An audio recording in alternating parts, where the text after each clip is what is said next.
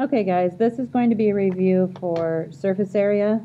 Um, let's start out with the first problem.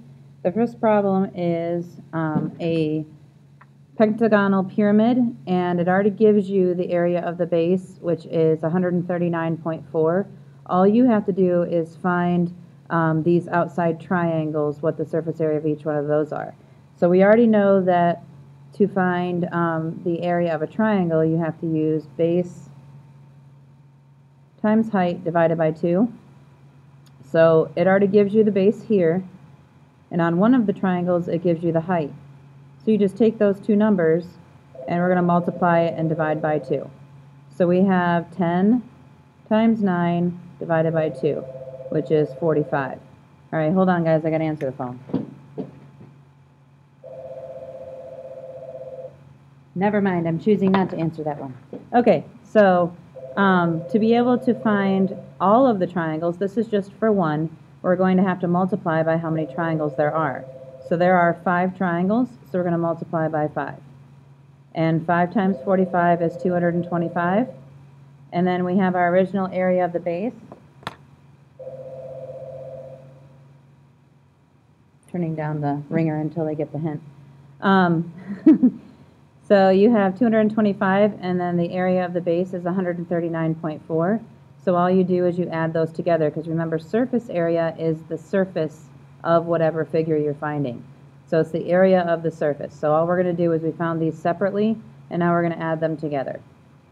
So 225 plus 139.4 is 364.4. So that is the answer for number one. And now let's go on to number two. So number two, the surface area of a square pyramid is 95 square feet. So we're going to draw a square pyramid. We have the square, and then the pyramid connects to it.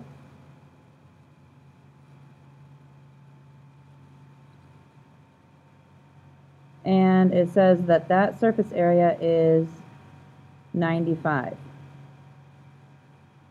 And then the base length is 5, so that means the 5 is the base length of the base of the pyramid, which is a square. So therefore, all of the sides are 5, because it is a square. And it says, what is the slant height? If you look on your reference sheet, the slant height formula is P L for slant height divided by 2 plus capital B. And that all equals surface area. So we have the perimeter. The perimeter is just adding up the base perimeter. So capital P stands for the perimeter of the base, which is 5 plus 5 plus 5 plus 5. That's 20. And then the slant height is um, what we're looking for. So we have L is the slant height and then divide that all by 2 plus the area of the base. Well, the base is our square, and 5 times 5 is the area, which is 25. And that's all going to equal what the answer was for 95 for surface area. They already gave you the surface area. That's why we're able to find what L equals, because they gave you everything else. So 20 divided by 2 is 10L equals your 25. Oops, I'm sorry, not equals. Let me move this a little bit because this is a, getting a little bit out of control with the space. Okay, so we have, um, I like to draw a wall to be able to separate the two sides. This side has my variable on it, so I'm going to keep this side being my variable, and everything over here is going to be my numbers.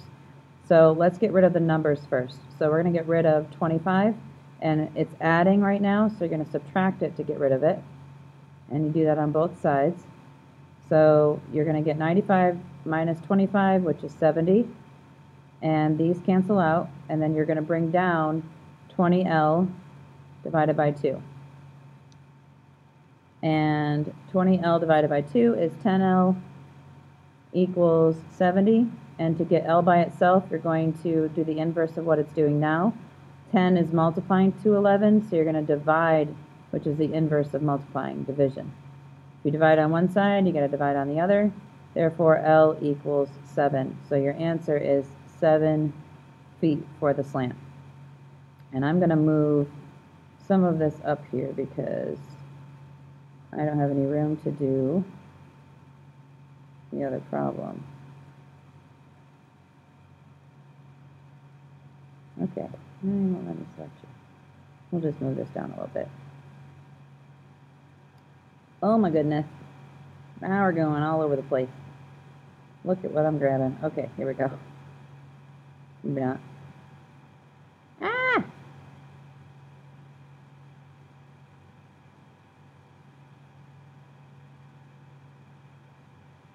All right, I'm just going to erase this one. So you can go back up and review if you need to go back to this one. Okay, so we're going to erase this a little bit, and we're going to move this back up. So number three asks us to find the surface area of this cushion. So it's a right triangular prism. How many square inches of fabric do you need to cover the cushion? So right triangular prism tells you that the base is the triangle. So you can use the formula SA equals capital P H plus 2B. And this is going to drive me nuts. Okay, so now we are going to do the perimeter of the base. So we know the base is a triangle because um, in the name it tells you triangular prism right here. So we know the base is a triangle. So the base, we're going to find the perimeter of that base. So one side is 24, one side is 7. All we need is the slant. And if you look over here, they give you the slant, which is 25. So you're going to add up 24 plus 25 plus 7, and that gives you 56. And then the height is the height of the prism. So it's the height of the entire prism. And like I told you in class today, think of this like a loaf of bread. This end is one end of the loaf of bread, this is the other end. To tell you what the height of the loaf of bread is, you're going to travel this distance between one end of the bread to the other end of the bread. And that distance is the line right here that I'm pointing to, 26. So that's the height of that prism. And then you bring down your 2, which is in the formula, and then the area of the base is a triangle, and we know the area of a base for a triangle is base times height divided by 2. So our base is 7, our height is 24. So we're going to have 7 times 24 divided by 2. And then you're going to put it all together. So you have 56 times 26, which is 1,456. And 2 times the 7 times 24 divided by 2. So do 7 times 24 divided by 2 first. 7 times 24 is 168. Divide that by 2. You get 84. So 2 times the 84. Then this is 168. And add it to your 1,456.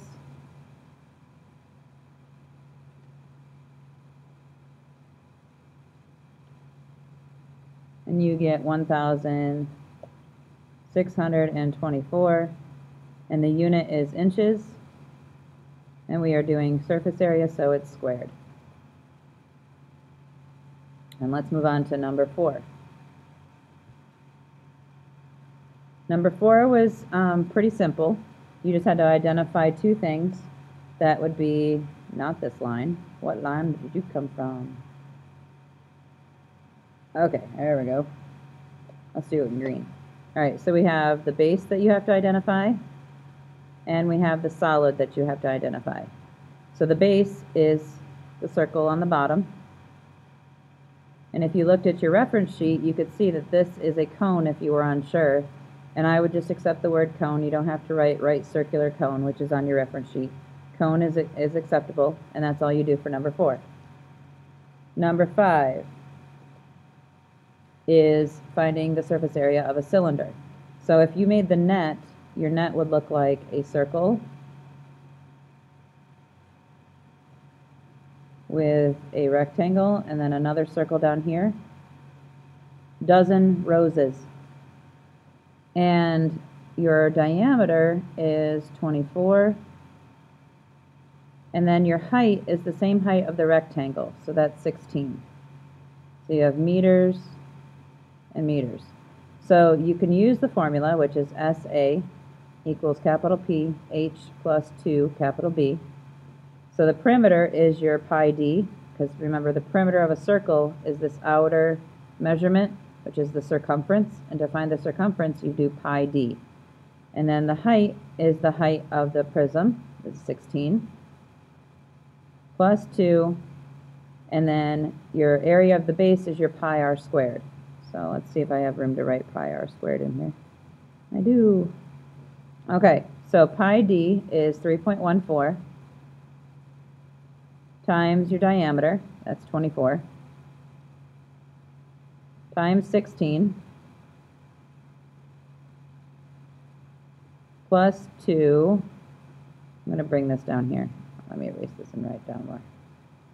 Okay. We have, let's move this a little bit.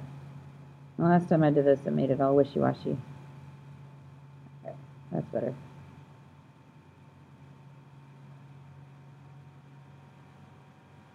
Okay. Um, so we have 3.14, let's just make a wall so we know this is separating. 3.14 times 24 times 16 plus 2, and pi r squared is pi r squared, so we have 3.14 times your radius, so that's the diameter, so we have to go halfway. So half of 24 is 12, that's 12 squared, so 144.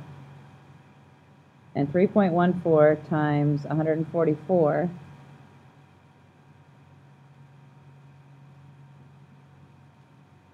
All right, this is kind of messy. I don't really like how messy this is, so let me move this over a little bit.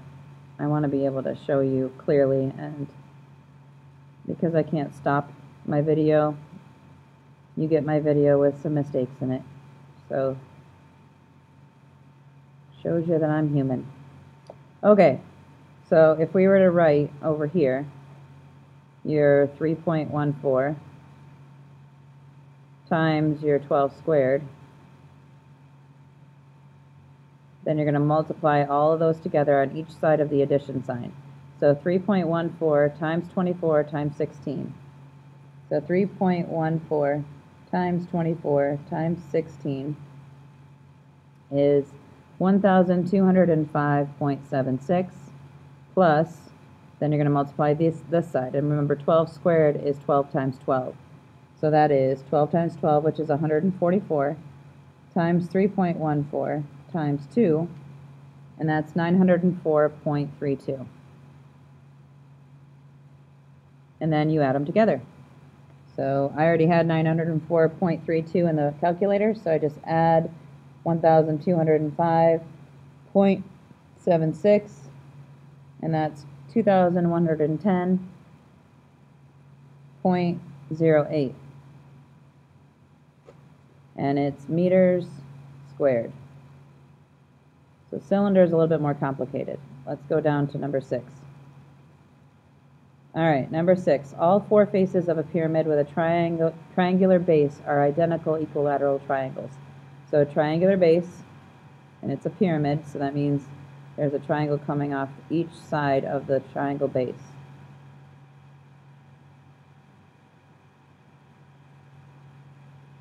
And it says the total lateral surface area is 42 square feet.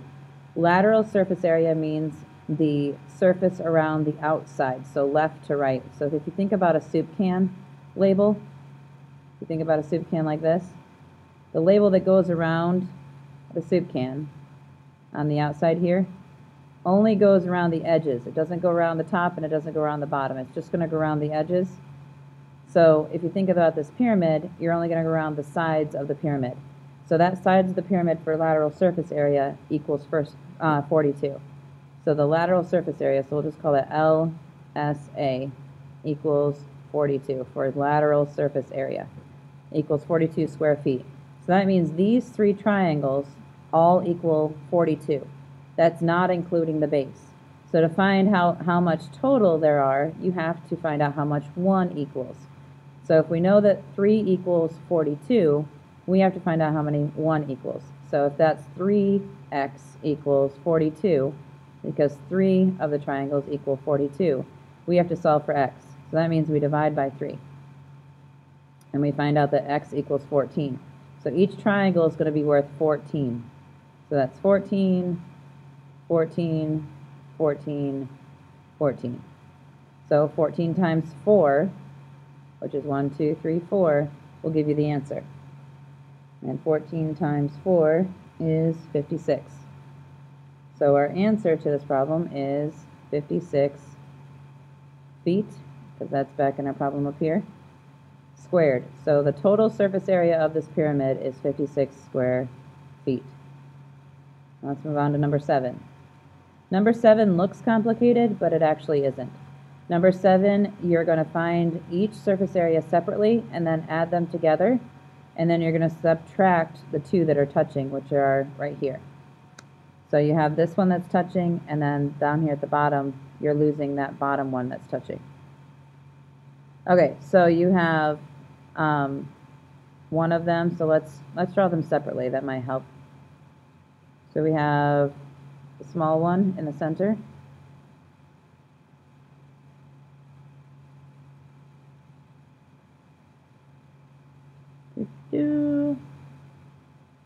And this one side is 1. Let's change the color. This is 1. This is 3. And the height is 4. Okay, so if we were to do this one, let's just designate this upper level is going to be the small one and the bottom one's going to be this, the big one to find the answer. Okay, so we have um, SA equals capital P H plus 2 capital B. So the perimeter of the base, we can use this base right here. That's 3 plus 1 plus the 3 over here plus the 1 over here. So that's 8 plus the height, which is 4. That's the height of the prism, plus 2, and then capital B, which is the area, so that's 3 times 1. And then you multiply across. So you have 32 plus 6, which is 38. So that's the surface area of the small one. So then if you do the large one, I'm just going to draw this smaller because I don't want to waste room by drawing the figure. So even though it's not necessarily large in the picture, we can know that this is the large one that we're representing. All right, so this is 4 again because it's the same. And the base of this is 6. And then the width will be 4 this way. So we have height, base, and now we need the width, which we can do as over here. So we have the perimeter of the base, so we have SA equals capital P H plus 2 capital B. So the perimeter of the base, we can use this base. So we have 4 plus 6, and this side must be 6. And the opposite side over here must be 4. So 4 plus 6 is 10, and the other side is 10, so that's 20. And perimeter is just walking around the edges like you're going to put a fence around the edges. How much length do you need for the fence? And then the height is the height of the prism. So this rectangle, like a loaf of bread, travels to the other end of the loaf of bread, and that line that it travels is 4. And then plus 2, and we're doing a loop-de-loop with my marker. There we go. And the area of the base is length times width. So you have, this was the base that we chose to use, so 4 times 6, so that's 24. And then you're going to do the multiplication and add them together. So 20 times 4 is 80, and 2 times 24 is 48. Add them together and you get 128. So now you have these two figures separated, and you're going to add them together first. So you have 128 plus 38, and you're going to add them together. So that's 16, and then 6, and then 1. So you get 166. Now that's not one of your choices because the surface area, remember, you're getting rid of this surface area for the small one. You're getting rid of the surface area for the large one in this same spot. And then down here on the bottom, you don't have the surface area of the bottom one anymore. So um, this picture is a little bit deceiving so you have to either do it two ways and see which answers come out, come out. So technically right now you can see that this has a hole, so you're going to subtract two of them. We're not sure if this base has a hole as well, So we'll subtract two first and see if we get the answer, and then we're going to subtract a third one to see if that will, you have to subtract this bottom one. Because this, if it's a hole all the way through, it should be dark down here. But I'm thinking it's not, so we might have to subtract a third. So let's look and see, um, 166. So we have this little space that we have to subtract because when you put these two together, this small one's fitting inside it and, and taking away that hole in the middle right there. So that's not there anymore for the surface. You can't touch it, it's gone. So 3 times 1 is the area of that, which is 3. And we're going to times it by 2 to get rid of the one from the small one and the one from the large one, which is 6. And if we subtract that, minus 6, we end up getting 160. And 160 square feet is in the answer. Now, if you look up here, if we subtract one more 3, we get 157. So the base of this down here is on this large one. It is there. But the um, base of the small one is not there anymore. So let me check one thing. Hold on one second.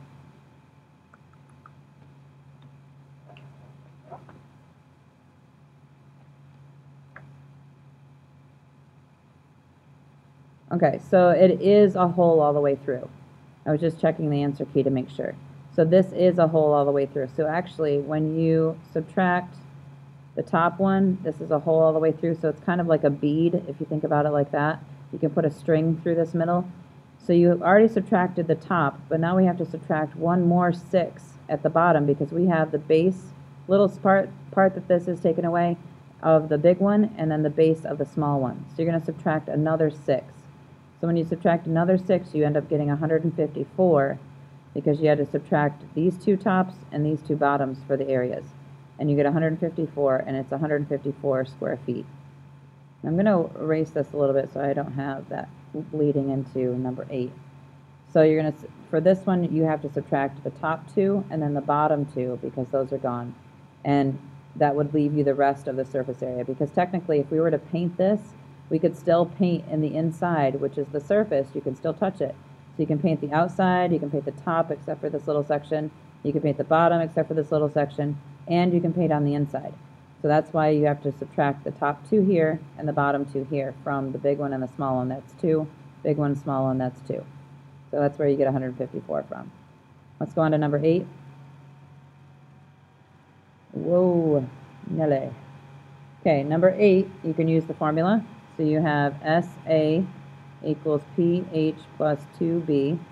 Perimeter of the base, you have 6 and then 3 for the height over here. So if 3 is here, 3 is here, and 6 and 6. So 6 plus 3 is 9, plus the other 9 is 18. And then the height is the height that it travels from one of the bases to the other base, and that travel is 14. And then 2 times the area of the base, and this base is 6 times 3, which is 18. And 18 times 4 is 72. And 2 times 18 is 36. And 36 plus 72 is 108. And that's not an answer. What did we do wrong? Hold on, I don't think I did my multiplication right. 14 times 18. Nah, that's where I did it wrong. Must have typed in the calculator wrong. Oops, okay. So this should be 18, just rewriting it because I just erased it. 18 times 14 is 252. And 252 plus 36 is 288. And that's millimeters squared. So that would be D. Number nine, you're finding the lateral find the lateral surface area of the cylinder below. Round your answer to the nearest tenth. So we are finding, if we were to make a net, we're finding this rectangle. So we have the radius is 5, And the height of this rectangle is 6. So this is like a can of soup and you're just taking the label off. So there's the label. So you're finding only the label for lateral surface area because it's like wrapping it around. You're only finding left to right on the figure. So um, lateral surface area is like latitudinal lines that are on a globe. They only go left and right, or east and west. So um, when you're doing that, you have to find their circumference in order to find what this length is. Because when you unwrap this, this little edge goes down to the corner here, and this edge would lay down here, and that gives you the length. So to find that, you have pi- d, which is circumference. So 3.14 times the diameter. If the radius is 5, the other side to connect it would be 5. Oh, so that's 10. Sorry, guys. My bell's going to ring soon, and I'm trying to get this done. All right, so that's 10. So 3.14 times 10 is 31.4. So that means this length is 31.4. So to find the area of this label, which is what we're looking for, is 31.4 times 6. So let's write that over here. 31.4 times 6, which equals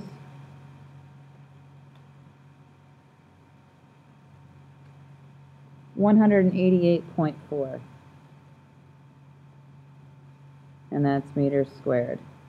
So that would be D. Let's move on to number ten. All right, number ten is like number seven. So number 10, you're going to break it apart and find each shape and then subtract two bases. So you have the pyramid, which equals capital PH plus 2B. So the perimeter of the base, so that's 5 plus 5 plus 5 plus 5, which is 20. And the height of the pyramid, which is 4 plus 2 times the area of the base, which is 5 times 5 times 5, which is 25. So 80 plus 50, which is 130. That's for the pyramid. Now if you do the bottom, you get capital P, which is the perimeter of the base, so that's 5 plus 5 5 again. So that's 20. The height of that rectangular prism, which is 4. And the area of the base is 5 times 5, which is 25.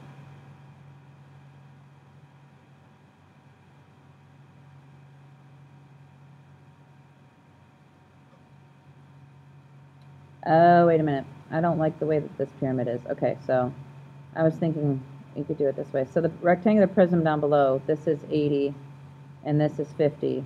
So that's fine with 130. But up here, you actually have to find each rectangle or each triangle by itself. So the base is 5 of the of the triangle and then the height is 4. Divide that by 2. So 20 divided by 2 is 10 and there are 4 of them. 4 triangles, so that's 40. And then you have the base, which is 5 times 5 is 25. So you add those together and you get 61 or 65. So 130 plus 65 is 195. And then you have to subtract two of these bases, which um, are gone when you glue those together. So that's 5 times 5, which is 25, and we're subtracting two of them, so 25 times 2 is 50.